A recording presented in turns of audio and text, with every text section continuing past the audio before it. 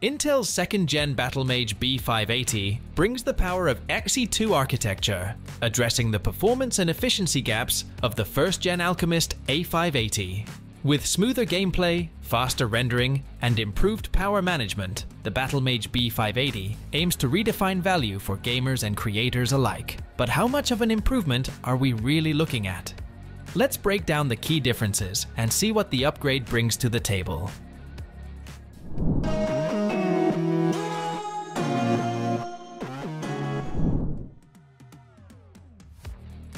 Let's start by talking about the design and build of these GPUs. The Battlemage B580 and the Alchemist A580 have a modern look, but they're built with different priorities in mind. The B580 uses Intel's second generation Xe architecture, known as Xe2, and it's manufactured on a more advanced TSMC N5 process. On the other hand, the A580 is based on the first gen Xe HPG architecture and uses the slightly older TSMC N6 process.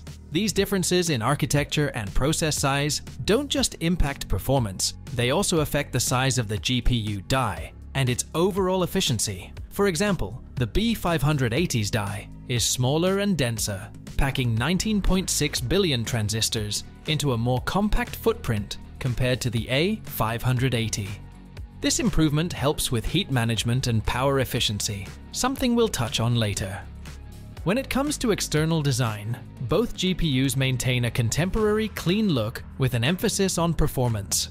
The B580 features enhanced cooling, with fans designed for optimal airflow and noise reduction, a significant step up from the A580's more traditional design. Both GPUs include RGB elements, with customizable lighting for those who enjoy a bit of flair in their build.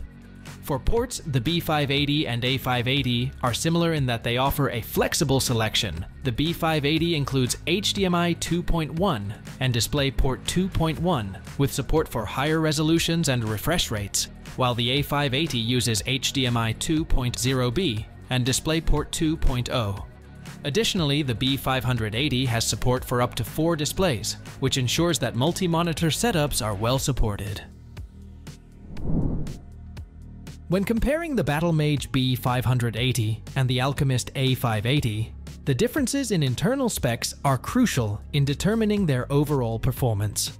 Starting with the core architecture, the Battlemage B580 features 20 Xe cores and 160 XMX engines, while the Alchemist A580 has 24 Xe cores and 3 84 XMX engines. Although the A580 has more cores, the B580's design is far more efficient, which allows it to deliver better performance per watt. This means that despite fewer cores, the B580 is able to perform at a higher level without consuming as much power. Moving on to clock speeds, the Battlemage B580 boasts a boost clock of 2850 MHz, noticeably higher than the Alchemist A580, which maxes out at 2400 MHz. This higher clock speed of the B580 is converted into better performance, especially in applications that rely on raw clock frequency, like competitive gaming, and tasks requiring fast processing speeds. In terms of memory, the B580 is equipped with 12 GB of GDDR6 memory running on a 192-bit bus with a memory speed of 19 Gbps, whereas the A580 has 8 GB of GDDR6 memory on a 256-bit bus running at 16 Gbps. The B580's faster memory speed and additional VRAM provide a significant advantage in gaming at 1440p and 4K resolutions, as well as for handling larger textures and more demanding workloads. Lastly, when we talk about power consumption, the Battlemage B580 has a total board power of 190 watts, which is slightly higher than the A580's 185 watts. However, the B580 is far more efficient, delivering up to 24% more performance while consuming nearly the same amount of power, leading to lower heat output and quieter operation.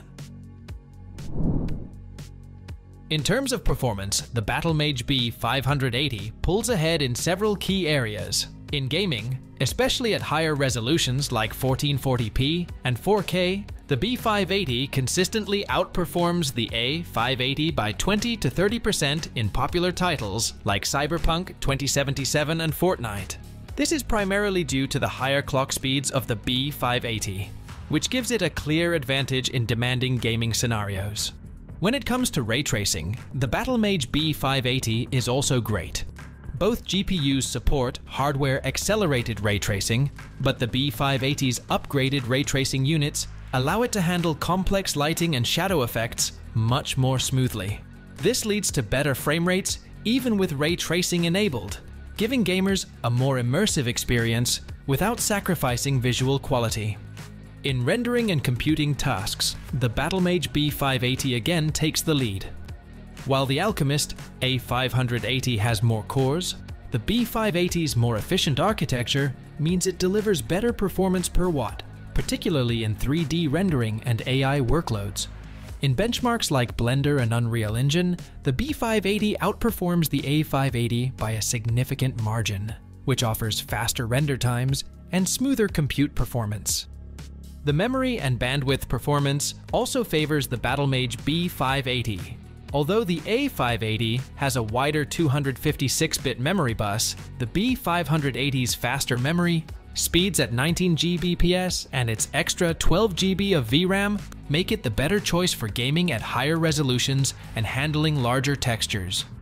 The extra VRAM also helps future-proof the B580, ensuring it remains capable of handling more demanding games and applications in the years to come. Overall, when comparing the Battlemage B580 and Alchemist A580 in terms of real-world performance, the B580 is the more better choice. Its higher clock speeds, improved power efficiency, better ray tracing performance, and greater memory capacity give it a substantial edge in 1440p and 4K gaming, as well as for rendering and compute tasks. Now, let's talk money. The Battlemage B580 launched at $250, while the Alchemist A580 came in at $179. On paper, that makes the A580 a more budget-friendly option, but the additional $70 for the B580 brings you more memory, better efficiency, and superior performance. For gamers on a tight budget, the A580 is still a favorable choice, especially if you're sticking to 1080p gaming. But if you're looking for something that can handle higher resolutions, more demanding games, and future updates, the B580 offers significantly better value for its price. So, which one should you pick? The Alchemist A580 is great if you're upgrading an older system or building on a budget, which offers decent 1080p performance at an affordable price. But if you're aiming for something more powerful and future ready, the Battlemage B580 is the way to go.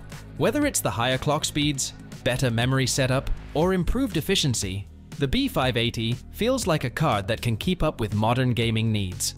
Let us know in the comments which one you're leaning toward, and don't forget to hit that subscribe button for more tech comparisons like this.